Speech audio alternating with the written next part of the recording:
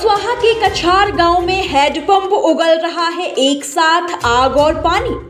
यह कुदरत का एक अजीब करिश्मा जो बक्सवाहा मुख्यालय से 10 किलोमीटर दूर स्थित कछार गाँव में देखने को मिल रहा है।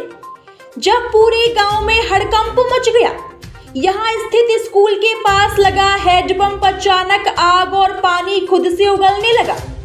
ग्रामीणों ने बताया कि इस गाँव में दो हेडपंप हैं। जिनसे गाँव वाले पानी भरते हैं। पर आज सुबह यह हेडपंप आग और पानी खुद निकाल रहा है। वहीं ग्रामीणों ने अधिकारियों को जानकारी दी है। साथ ही गाँव वाले दहशत में हैं कि कोई अनहोनी ना हो जाए। वहीं ग्रामीण पेयजल के लिए परेशान हो रहे हैं, क्योंकि इस गाँव में सिर्फ़ दो ही हेडपंप हैं, जो गाँव में पेयजल आपूर्ति करते हैं। बक्सवाहा से फहीम खान की रिपोर्ट।